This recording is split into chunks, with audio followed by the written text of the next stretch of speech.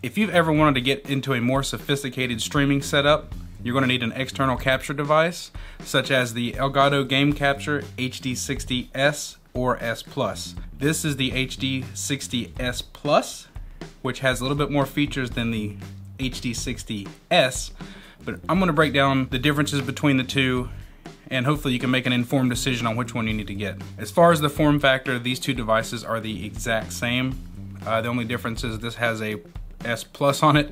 The other one just has a HD60S on it. What this is is an external capture device, which means it has an HDMI input and an HDMI output. It also has a USB-C connection to connect this to your computer. On the inputs, you also have a three and a half millimeter jack input. That allows you to input analog audio to the device. So if you're using something such as the Elgato Chat Link to capture party audio from your Xbox controller or your PS4 controller, you can plug this up to a three and a half millimeter cable from your controller or your other headset devices and grab that audio as well. Uh, you will need to set analog audio instead of HDMI audio in your software so that you're capturing the right audio from your device. Otherwise, all audio is going to be over HDMI. So what happens in this device is it takes the input from HDMI from your console, computer, whatever HDMI device you have. It will pass through that signal back to your TV, your monitor, whatever you're used to playing on or viewing on. And it'll also encode that footage and send it over USB to your computer. So you can use something like the Elgato 4K capture utility or send this to something such as OBS for live streaming, Streamlabs OBS, anything like that. So before we hook this thing up, let's get into the differences between the HD60S and the S Plus. Both of these devices record in 1080p 60 frames a second. So your Xbox, PlayStation, Nintendo Switch, any of that can be recorded through this with the high frame rate and high definition in 1080p. The main difference is the S Plus allows you to capture HDR from your Xbox or PlayStation. Now the caveat is you have to have Windows 10 to enable that HDR recording and that recording is going to be in an HVEC format which can sometimes be a little tricky, a little hard to work with, but you can always turn off the HDR capture if you want to. The other difference is the S Plus will pass through 4K resolution, which means if you're used to playing in 4K on your 4K TV, having this in your signal chain does not degrade that 4K signal to your TV. So you can still play 4K 60 frames a second from your PlayStation or Xbox and then capture this in 1080p. This does all the magic for you. There's nothing else you need to set up. The capture utility will capture the 1080p 60 even though you're playing in 4K. The non-plus version, just the HD60S, does not pass through 4K. So you cannot feed this a 4K signal and then capture 1080p. It's gonna pass through 1080p and capture 1080p. So the S Plus has a one up in that category that you can still pass through your 4K and your HDR as well. Both of these only record in 1080p 60. So you're not gonna get a 4K capture out of this. However, with the S Plus, you can capture 4K 30 frames a second. Now, whether you want to do that or not, 4K eats up a lot of data on your hard drive when you're recording video, so just be careful if you're doing that. The S version, there is no 4K option for that. To hook this up, all you do is hook up your PlayStation or Xbox like you normally would. You take the HDMI that's going out of your console, normally to the TV, and you're gonna plug that into the in port of the Elgato device. To pass through, you're going to take the out HDMI port of your Elgato device and run HDMI out into your TV or monitor, and that's going to pass through your signal. These devices do nothing to the signal chain.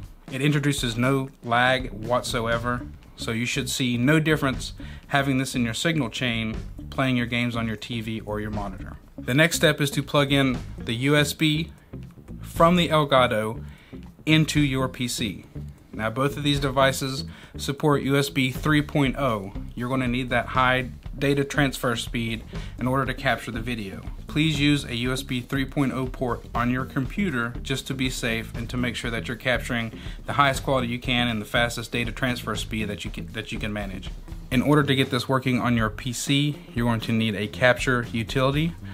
Uh, if you want the one from Elgato, you will need to go to elgato.com, go to downloads up in the top right. You will see an option for the 4K capture utility. Download that and install it. Once you have the 4K capture utility software downloaded, plug in your Elgato device via USB 3.0 fire up the 4K Capture Utility software, and you should be presented with the video from your console. Inside the 4K Utility software, you will see the input resolution and frames per second in the top right. Uh, you also have a settings button that will allow you to change settings in the software, changing the recording mode from 1080p 60 to 1080p 30 if you want to. There are also advanced settings for changing the bit rate and the quality of your recording. 60 megabits per second is the maximum recording quality of the HD60S Plus. Uh, in order to achieve 60 megabits per second, you will need a pretty beefy rig and you will need a decent hard drive on the back end to capture that footage and record it. Uh, you can play with that setting, lower it down a little bit to get the quality that you like without losing frames. In the bottom middle of your preview window, you will see record, and in the bottom right, you will see the audio input levels so you can monitor how loud your input is coming from your console. On the PS4, you will need to disable HDCP.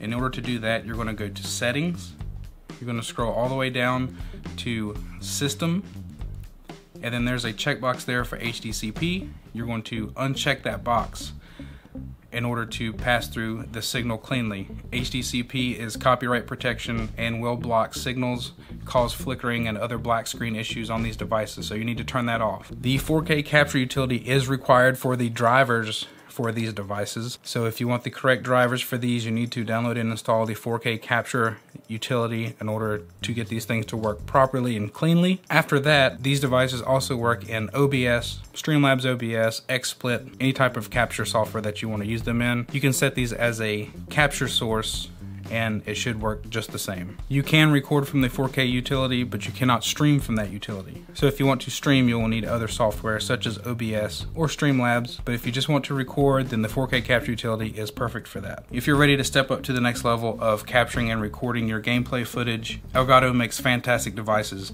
These are external capture cards. They also make an internal capture card called the HD60 Pro and the 4K Pro and the 4K Pro Mark II. Uh, those go into a PCI slot on your computer. They're a little bit more complicated and less portable than this device, but those options are out there as well.